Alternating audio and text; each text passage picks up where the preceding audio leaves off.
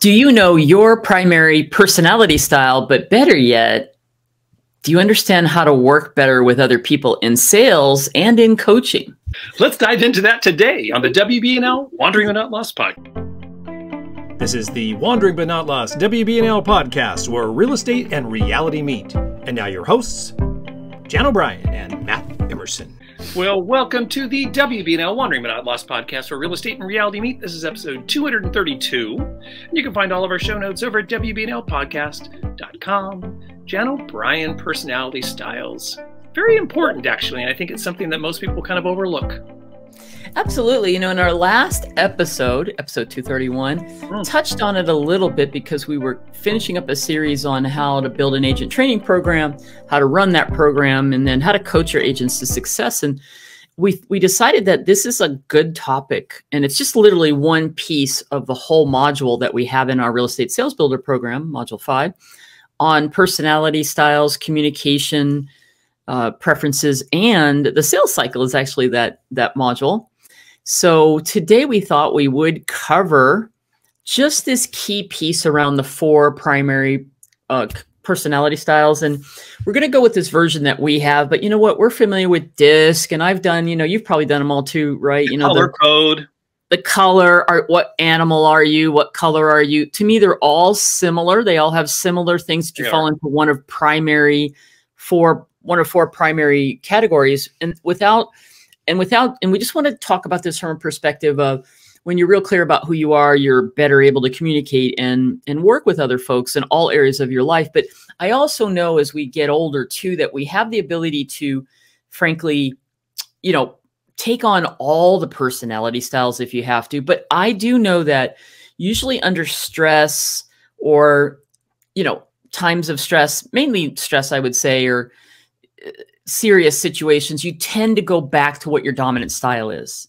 Would you agree with that? You know, I, absolutely. I think definitely over your your span of your career or your mm-hmm. life, depending upon what your focus is at any given time, you can kind of ebb and flow throughout the different colors on the spectrum, right? But I think you're absolutely right in the time of demand or crisis, you absolutely revert to a specific thing, and that's something that's pretty consistent throughout your life because that's what you that's what you are. That's who you primarily are. It's funny when you take this test if you've never taken it before. I remember the first time I took this test was uh, I was at Walt Disney in the management training program, and um, you could tell people wanted to be a certain people always try to hedge the test right? And to get to where they want to be and it's really not that hard to do honestly. If you want to be no. the most dom you know what is considered the most dominant uh, uh, characteristic you could hedge your bet there. But if you were really being honest about it uh, you might find that you're not exactly in that spot. That's and a great that's a great point you there's not one of these that's better than the others. You might think about one of them might being better, but really they all are integral. If we didn't have all four of these personalities, yeah. one heck of a weird system. No, it would be weird. And and answer the way you to your point, answering those questions, you can tell which ones are more the analytical and so on, sure. right? And they ask them in various ways. But I think they build into the test taking to to try to get those That's false. They do because usually questions are answered asked more than once. Yeah, they are. Yeah. So they can do it. But what we're going to cover today is it does start with understanding who you are first, which to me, you know, what's that quote to know thyself? Because when you really are clear about who you are, then it all starts to open things up. And if you study this personality stuff or behavior matrices or any of that, or, or get into, you know, NLP, neuro linguistic programming, it really helps you understand how you've got the programs that you have through your upbringings, through your you know education through the people around you who's influenced you and through your just general experiences in your environment. That's right. So we're going to talk about each of these four key characteristics and what motivates each and then just bring it all home to discuss how how does that impact you in your everyday life but in sales and then if you're in a role of team builder or broker uh, how do you coach and motivate others? Okay because it's all the same thing right? So what we have up on the screen if you're listening on the podcast is the the four quadrants as we use it and and I've interchanged it when we put our training together. We do talk about DISC because a lot of people are familiar with DISC. Mm-hmm. Uh, you know, there there used to be a way to get a free version of that over at Tony Robbins. Now there's just a really watered down version, and then they want you to uh, you know pay for a bigger version. But honestly, there's tons of free personality style things online. Sure. But this is a very simple way, this quadrant. I'm just going to describe it. In the upper, there's a quadrant, four quadrants. In the upper left hand corner is the driver or the director. The upper right hand quadrant is the analyzer or the thinker. And then we have the bottom quadrants on the lower right the right hand, I guess the best way to describe that is the lower right side of the quadrant is the supporter or the relator which brings us to the left quadrant. If you can visualize it, the lower left quadrant is the promoter or the socializer. Now, how we do this very simply is when I teach this class, when I teach this in some of the CE classes I do, we just have two lines, a vertical and a horizontal line. And at the top of the hor of the vertical line is task oriented, and the bottom is relationship oriented. We just tell people under stress, when you're in a think of the last time you were in a stressful situation and put if if times get a little tough or a little stressful, do you tend to be more task oriented, or are you more about how's everybody feeling in the relationship? And you're on the continuum somewhere, and you put a dot. And then the vertical, the horizontal line has on one side, the left side, dominant and outgoing, and on the right hand side, more flow with and reserved. And the same question under under stress uh, in a stressful situation, where do you fall on that quadrant on that spectrum rather on that line and then you're going to draw uh, you know connect the two dots if you will and it puts you into one of the quadrants so kind of hard to describe that but if you're seeing it if you're watching then you can see it but if you're listening on the podcast you can check out the video on youtube and get a sense of this and but the, the bottom line here is you, you end up being in one of those if you're truthful about how you are okay and and honestly it's powerful because it's yeah, I was thinking this the other day. I think you and I were talking about this, Matt. Like we were talking about the differences in personalities when there is um, confrontation or something right. that has to make people feel, or there's a challenge, or there's a flood in a house, or there's this or that. You know what happens, or you have something happen, and that's what I, that's what I think you have to think about because you know if you're the type of person who's going to immediately go, let me take charge. What where we're we got to go get this done and that done, versus someone and that would be the driver you know versus the thinker who would be what caused this let me just you know let me get all the details before i can really decide what we have to do next not that that person might not take action because they're task oriented yep. and so the, the top part of the quadrant are the people who are task oriented first and then they're then they're just a little bit more dominant versus a little bit more go with the flow, which is the thinker. And then the bottom part of the quadrant is the people that are more relationship based. They're not about the task. So on the one side, you have the promoter who is definitely more outgoing, and the supporter who is like the analyzer or the thinker, more go with the flow, more reserved. So you fall generally into one of those categories. Not that, listen, Matt, through the course of my career, however many times we've taken these tests, yep. when I was in leadership positions in companies, I was definitely I tested high D. Yep. But when I first did this test years and years ago, I was definitely supporter. Yep. I was supporter. And I've never really been analyzer. That's not me. However, I can do that stuff if I have to, but it's not my natural place that I go. But you right? do it very well. See, that's the thing. Yeah. Talking about how you can blend off four. I had the same. I had a, a, similar but different experience when I first took the test. I was a high D, um, and as I've uh, gone on throughout my career, I've moved more into the promoter quadrant. Right. However, I have to say, if you had to do, if using the crisis scenario as your um, your baseline, I would always be D. Yeah, that's me too.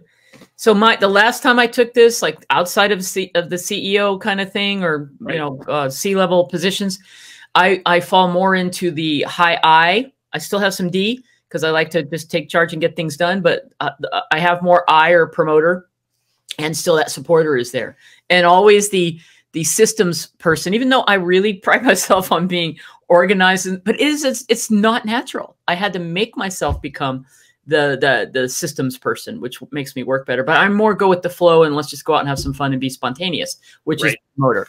So let's go into each of these a little bit more in detail, and then we'll talk about how it all interrelates. So the driver, and again, if you're a podcast listener, I really encourage you to go and check out today's episode uh, 232 on our YouTube channel because my good friend and partner here, Matt Emerson, has outdone himself oh. on the graphics and the in, inner meaning and the subtext that goes with the imagery that we have for today's topic you, you just don't want to miss it. And so he's using uh, shoes, okay, like mostly uh, well, really cool shoes, and in colors. Well, we had colors because the colors were are one of the other ways you do it. And the driver in our scenario is red. So anyway, the driver or the director are people who are just more confident, self-directed, they're energetic, they're decisive, they're the risk takers of the world, and they're all about the results, right? They like to be the leader of the group. They respond to the ideas of others when they're logical and reasonable, and generally when they're more in alignment with what they want, right? Mm. So their strengths are practical application of ideas. And one other thing before we continue to move on through these characteristics is even within the quadrant of the director, you have levels of that. Yep. So you have that spectrum of somebody who's super high D, like even if you take a test, it's like what number is your D versus you know the high and, and be really intense to be versus someone who's still has those characteristics but they're more balanced okay so that's the driver and what else do we have on the uh, driver here okay so the key characteristics confident assertive decisive, forceful, the effective leader, if they're balanced, right? Mm-hmm. Result oriented. And if they're not as balanced, these are the folks that can really, for others that are not like them, feel they can be very aggressive, pushy, and overpowering.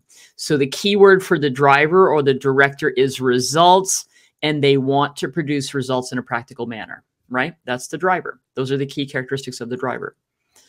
Um, so, how do you relate and communicate with drivers? Well, give them the bottom line. So if you're in a sales, so let's talk about sales situation.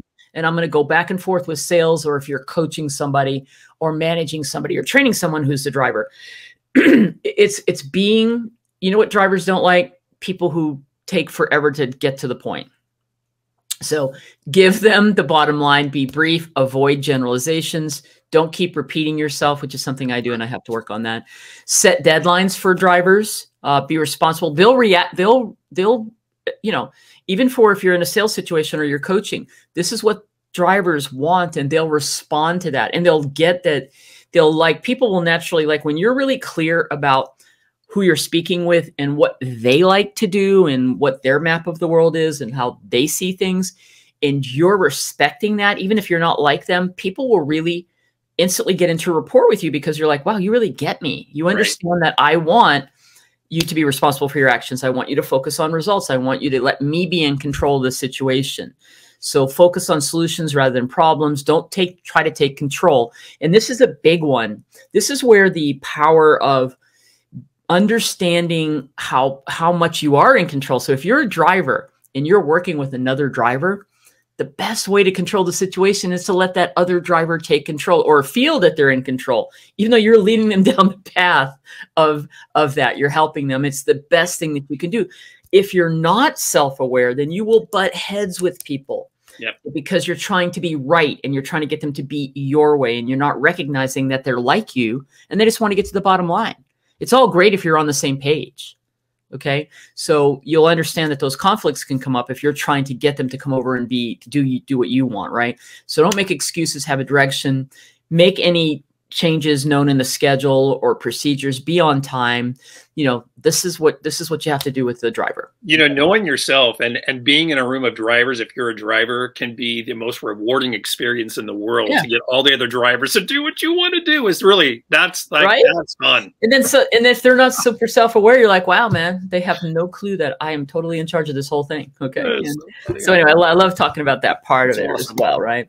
Yep. So the promoter the promoter is got these snazzy blue you know shoes they're hanging out on a grass in our in our graphic here from matt and this is perfect for the promoter because the promoters are the socializers and the disc they're the high eyes.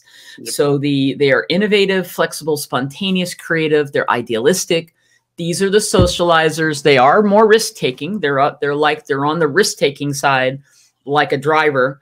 Um, they like the but they're about the drama the style and it's all about imaginative design they're more into fresh ideas. They're passionate about what they do. So some of their key characteristics, just name some of them are imaginative, creative, visionary, enthusiastic, innovative, but they can also, if they're on the negative side of their characteristics, they can be unrealistic, unreliable. These are the folks that are generally going to be late inconsistent, they can be impulsive and definitely impatient.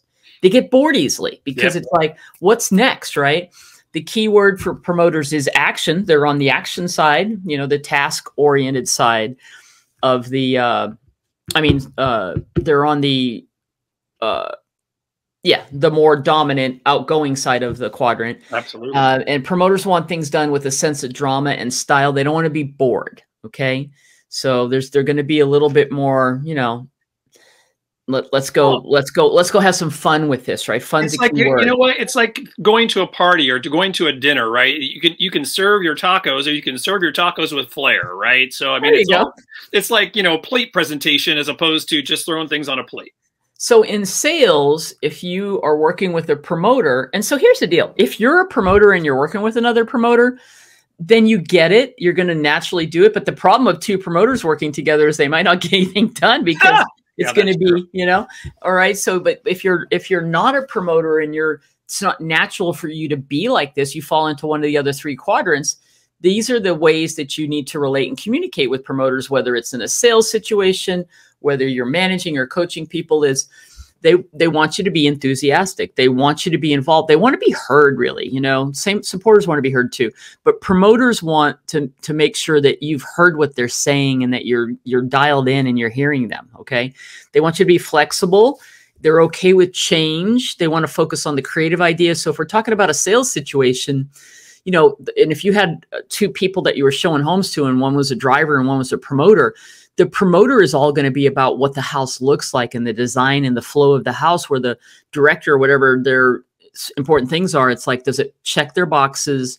You know can we are we going to make a decision soon? And you know they're still looking for that functionality and so on but the promoter is more about how does it feel? You know what does it look like? The so, promoter is also in a transaction going to be more adaptable to change when things true. come up in an escrow. That's true uh, so you can also talk about their dreams and if you're coaching a, a, promoter, talk about their dreams and possibilities. They're excited about the the growth and the movement and the things that things are never going to stay the same. That's what's going to really make a promoter crazy. They're the socializers of the world. Let them talk and ask questions. Focus on the positives, not the negatives. Don't interrupt them you know, and and avoid overloading them with too many details. If the the information needs to be around the the part of the world that they want to be in. Okay, so that's the socializer, um, and that's a real outgoing person. The supporter. A lot of times, I'll call the supporter or the relator the power behind the throne. Right? Yep. These are the people who are co- they're very cooperative, honest, sensitive, warm understanding they relate to others they they want harmony they're more informal they're approachable and they're more tactful. In business they place emphasis on people over the task okay? The, it's about the people first and then the results. Um, they're concerned with the values and feelings of those around them including their own. They really definitely want to be heard. Yep. so supporters have um, are yellow and are are really cool and they have these these high top converse yellows those that was a good choice for supporters because the, the, this picture is very much a worker, right? They're, mm-hmm. I mean, they're, they're, these are good pair of shoes that are going to be used a lot and they're not super fancy, but they're supportive, right? Yep. Especially the high tops. Okay, good choice, Matt. I have a pair just like that, except they're not yellow. Which yeah, I have red ones like that. Interesting. All right. All right. There you go, red. Yeah. Mine? mine are black, actually. I have some black ones too. So there you so are. Key, black goes with everything, right? Key yeah. characteristics. Okay. Understanding, gentle, loyal, cooperative, sensitive. That's one issue. They can be, they can definitely get their feelings hurt. Diplomatic, yeah. appreciative. They can be overly sensitive. They can be a little bit more passive and slow to act. The key word for supporters is feelings. They want, supporters want to be done, want things to be done harmoniously and they want to be personally involved.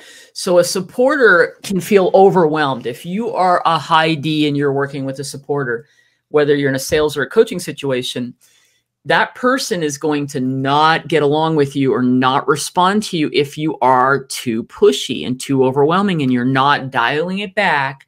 And remember the key here, and I'm using this as an example. The director might be like, why is this person not making a decision or get or seeing, or if you're in a high I or promoter, why is this person not as excited about all of this? And let's go out and do this and try new things and, and yeah. be okay with change because they're not. That's the point.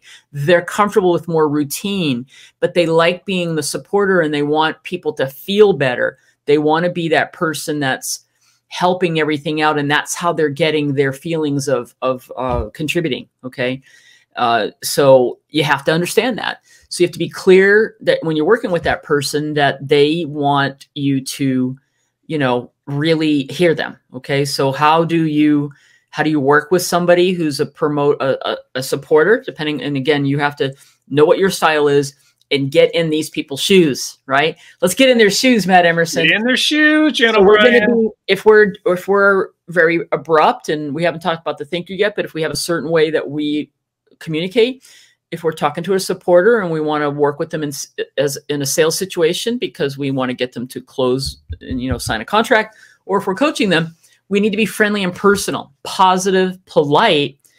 It's all about trust and rapport for everybody but for this group of people you're not going anywhere until you have their trust. And you're only going to do that by building rapport and getting into seeing their map of the world and, and listening actively these folks want to be heard. They don't, they're not always heard because everybody's, uh, the other groups are generally more overpowering in one way or another, whether you're a thinker or promoter, outgoing, or you're an outgoing director. Take time and provide clarification, create a comfortable, relaxed climate, create an experience they can relate to, express your interest in them and what you expect from them, and avoid being confrontational and overly aggressive. It's just not going to work. They're going to they're going to retreat more and they're going to shut down and they're not going to decide to do anything. Okay. All right. That brings us to the analyzer, the fourth quadrant or the fourth one we're going to talk about. Another word, keyword for the analyzer is the thinker. So these folks tend to be very logical, thoughtful. They're also very, they can be very loyal, exact, dedicated, steady, and really definitely organized. Okay. These are the people that have the lists that have the details, that are the spreadsheet people. They might, like be a little, might be a little OCD. Maybe they like following directions and work at a steady pace. Generally, these people, like we all tend to go to jobs and lines of work and careers that match our personality styles. So, and it's not to be that everybody that's an analyzer or thinker works in a detailed field, but they, if you were to look at people who are analysts, systems engineers, engineers of the world, um, they probably have a high analyzer thinker component in their personality style. Okay. Right. So the uh, the CPAs of the world, the accountants, the people that like numbers and like details and things make sense to them. That's the thinker. The facts, just the facts, please. Okay. So what are, uh, some other key characteristics? Uh, objective, logical, thorough, very precise, and very detail oriented. Very disciplined. They can be very cautious, aloof, and indecisive. This is really important when you're working in sales with them. Absolutely. You know, they can, can, can appear uh, unemotional. They can also appear very abrupt. Like they may come across very abrupt. That's just being, you know, precise. So they're not as relationship oriented. They're task oriented. They're up there with the director on the task scale. They're just you know they're more um, they're not more outgoing they're more introverted for the most part. Their keywords thinking they want things to be done right. So how do we work with this group of people? It's so important. This is the easiest one to really understand if you're not the thinker. If you're the thinker you get it. If you're a thinker then you if you're an analyzer you know. I got to find out what this person needs. If it's in a sales situation what are the what are the most important things that they have to be able to check off and get an answer to before they make a decision? If you're coaching somebody that's an analyzer it's a very similar thing. You know i used to think that people that are are thinkers are not going to be great at real estate sales because they're not generally outgoing. But here's the deal you always attract your you, you can attract your own tribe right, right. so another person if you're methodical in the way you do your business, I know several people, and I've coached several people who are uh, high uh, C's or thinkers, analyzers, if you will, and they just are into the systems. And what happens, especially if you're building a team, you may find some people that are more outgoing to be on your team, or maybe you're maybe the person that you hire as an assistant is going to have. Um, you know have those skills that are a little bit more outgoing. Or maybe you're a more balanced thinker you know that can do all that. So i'm not what i'm saying is there's no particular style that's going to be better in sales.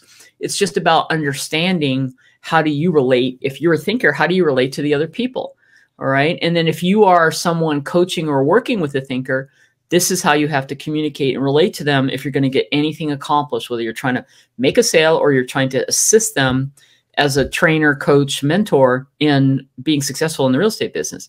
You got to focus on the facts and details. You have to be logical. You you need to be organized and detached and calm and stay calm and recognize that they're not they're going to be slow to make a decision because they need all the facts. So you must know what are the key ingredients. And so if you and you'll recognize right away if you're working with someone like this, okay? Yeah, totally. You're asking, it's all of that. And then if you're working with a with a, an agent that you're coaching or a person that you're you know trying to list or or buy a home with, just just ask them straight up. L get in their world and say, let's talk about what it is you're going to need to be able to make a decision so that you can buy a house today. If we're coaching an agent, we want to we want to encourage them to be systematic, but we have to help them with they don't have to know everything before they go out and, and meet someone. How can they leverage what they what they have is good enough and get out there and do something at the moment, right? So be accurate, use critical thinking, state facts briefly and concisely. They don't want you to be verbose. They want to just like directors, they want you to get to the point, but they want you to be factual. All right. You don't don't want to be over friendly. Minimize the pep talk. Pep talk's not going to work. A pep talk might work with the promoter and the supporter, but not the analyzer. Okay. Um, be patient, persistent, and diplomatic. Just be clear about what it is that they need. But you may have to coach the agent to help them understand that they might have to, if they're super too analytical. But here's the thing if they're too much that way, they're going to almost take themselves out of the real estate That's business. right because they're going to say that I fit better over here. So somebody who's got a high analyst style might also have a little bit more balance in the outgoingness that they're comfortable with that and they can be very successful in sales. Or they'll say this is not for me. I don't like it. It's too there's too much people. There's too much uh, you know uh, people don't understand me. Okay so that again everything's on a spectrum. We're not putting anybody into a pigeonhole. No, we hey, all know listen, how to adapt and adjust. Listen all you uh, you know directors and um, uh, socializers. One day a uh, analyzer in real estate is going to figure out it's going to unlock the key to lead development because those are the people that are going to do it right? Yeah no kidding. and honestly uh, you know i have clients i'm working with now and it, has been a pleasure because i've been super clear um, you know about what what they need. And and then it's like sometimes i've also discovered in working with a particular analytical buyer is that don't make an assumption that they're just never going to do something. Sometimes people just want to get, work through the details that are important to them and then realize that that's they've gotten it off of their head, if you will. Like I liken it to situation I'm thinking of right now. I'm likening it to the J uh, David Allen um, getting things done, where you have these open loops and if some if you're very systematic about stuff and if, if you don't have a closure on that issue then it's bothering you and sometimes the closure is just that's the way it's going to be i'll have to accept that next. And i appreciate that in the person i'm working with right now who's very clear that he just needs to get the answers and then he's okay. It's not like he's getting the answers so that he's going to say that's it i'm done. It's just like i need the answer. I have a question and nobody's answering it yeah, and this ties back to rapport building too, right? So I mean, they might have to have every answer to every little thing that's on their mind in the beginning, and once that rapport is built, there will be trust there, right? So they'll know, like, oh, yeah. this person knows what I, what I what I'm what what I'm looking for and how I want it, and blah blah blah. And some of that process, although not all of it, because they are thinkers, uh, might shrink a little bit. You might you know find it easier to work through. Yeah, and sometimes it's it's about you know the person just being needing to be heard in their way, right? And and ultimately, to, to tie this all up, I really feel that what we're saying here is, in a nutshell is this right here.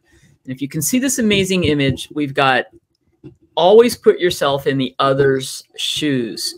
So here in the middle, using the analogy of shoes I've been trying to describe, is an image of a great pair of of uh, walking shoes, walkers, and they have um, a stripe down the side of them that has all the colors. Okay, so we've got the red director, the blue promoter, the the supporter in yellow and the green thinker. And that is what the whole point of this is is that the power comes in being able to be better influencer, being better at sales, being a better motivator, communicator.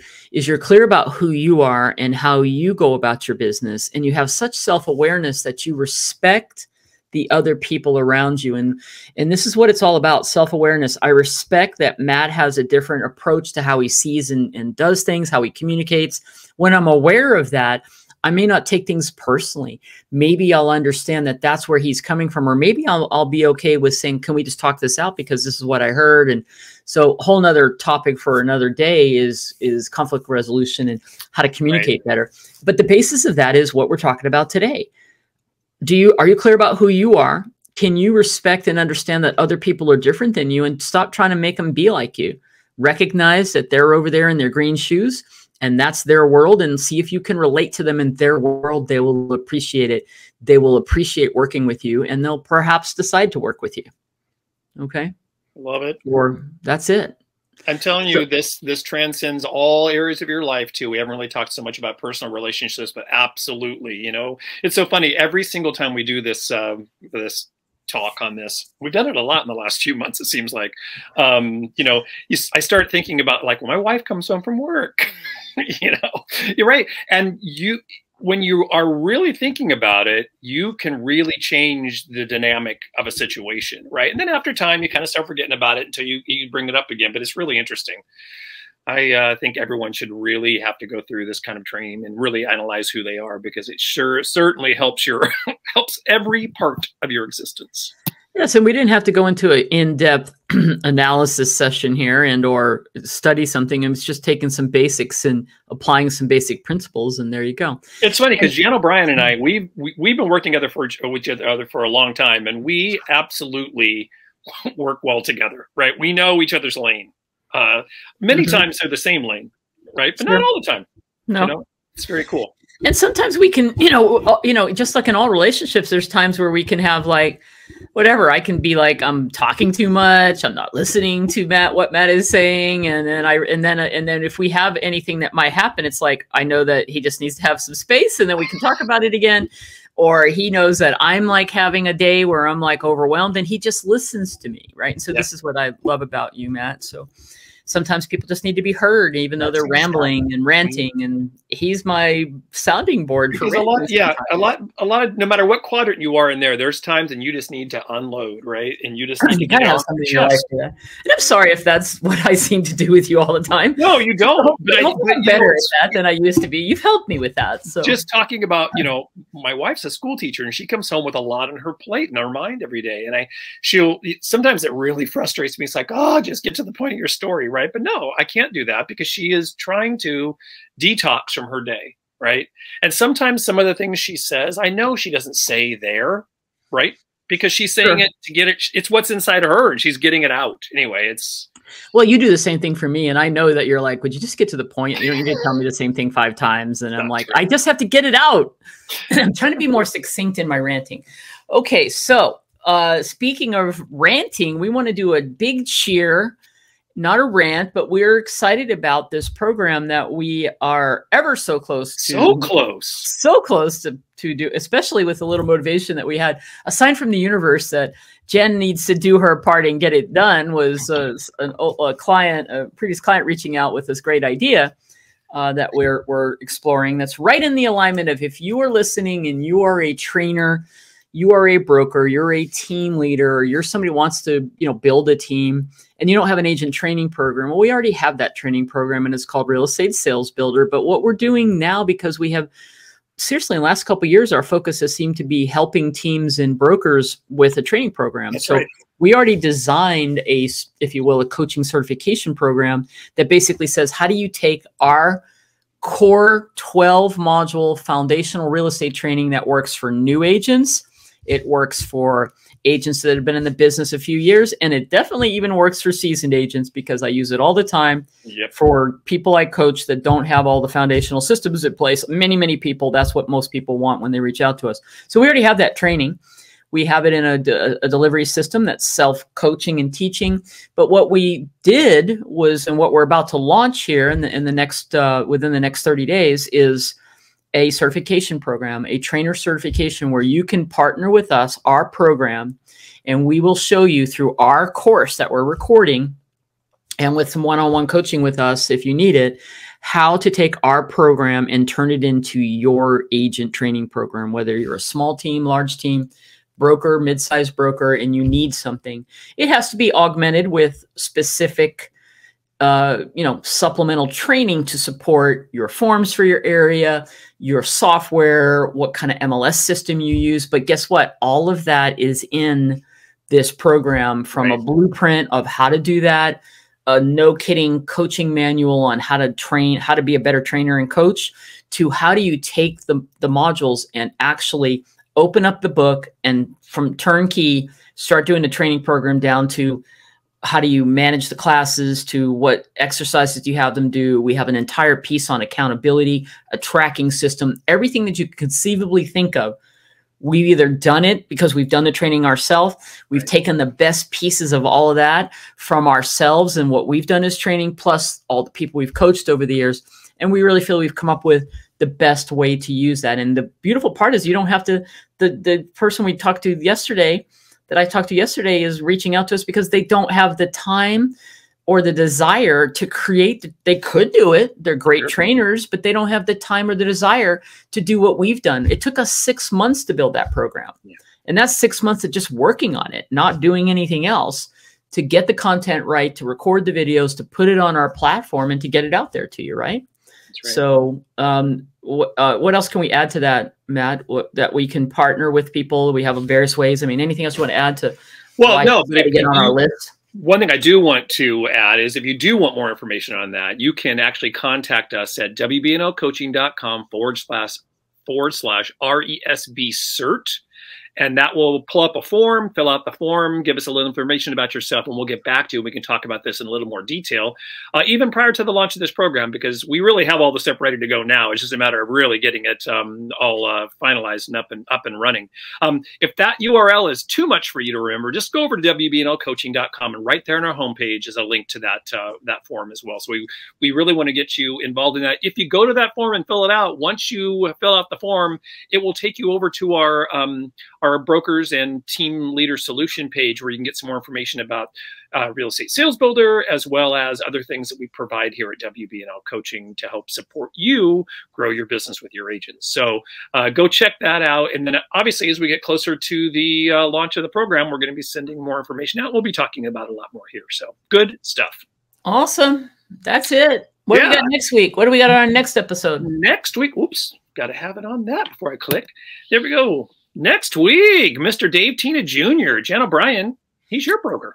Yeah, he's an owner broker. I've known Dave forever. It's got a, he's got a great story of of and, a, and such a great success story of how uh, they've taken and built a, a, company of 500 agents here in Las Vegas. And, and Dave's really into doing coaching, business and life coaching. And so he's got a great story to tell, and we're excited to interview him next week. Yep, that's going to be a good one. all of our Ask Fives have been fun. We're getting well, as we cl get closer to the uh, the mid year. I'm going to splice all these together and uh, get some. Uh, uh we'll do the the the Ask Five mashup and see how all of their uh, responses have. Uh, been so that'll be kind of fun too. So what else, Jan O'Brien? It's kind of exciting that the weather is changing out here in the west. Looks like we're going to have you know spring kind of. not really warm spring. Is it still raining out there in California? No, we had our last little bit of rain yesterday. We might get a little bit next week, but I think it might be the last of the season. But I'm telling you, it's so interesting. The plants are like, what the hell?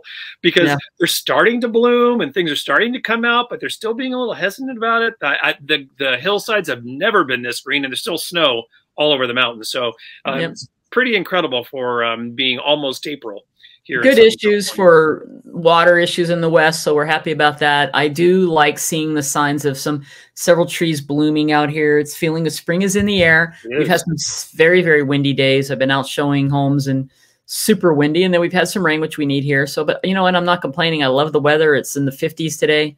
Uh, it's 50s and 60s today, so I'll take it.